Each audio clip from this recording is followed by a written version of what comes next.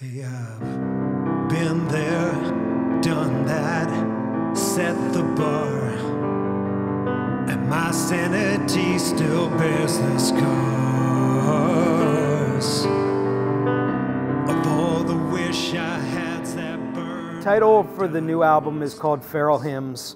and the idea behind it, besides the idea of just going solo and becoming myself, the idea of feralism to an extent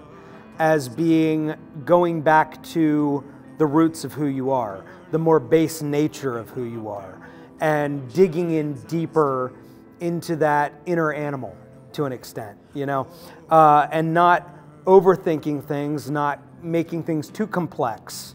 uh, stripping back to find